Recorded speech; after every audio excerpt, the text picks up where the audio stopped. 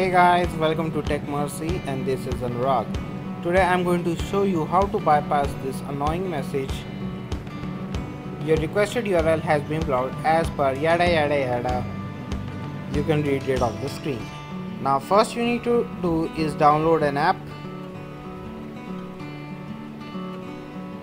called Hide My IP or any other VPN app. VPN means virtual private network and what it does it helps us to unlock blocked sites over a network we are using.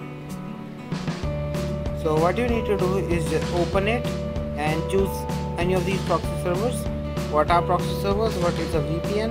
You have to search for that to understand. But this method doesn't require that much knowledge.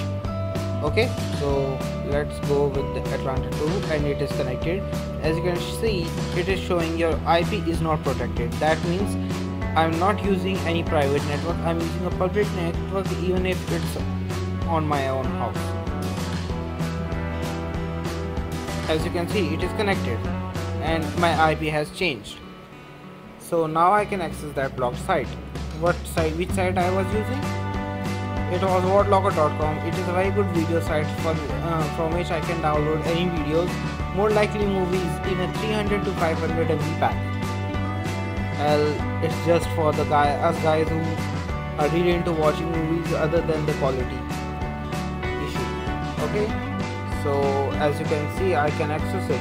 And I can even download videos and anything I want from the blog sites as long as our little VPN app is running in the background. As you can see it is still downloading 1.1 MB and it has downloaded 3.5 and it is going on. The downloading and the uploading speeds are showing here.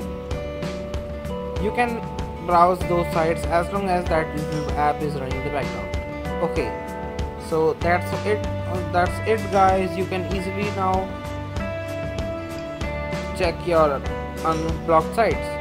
Okay thanks. Come back for more videos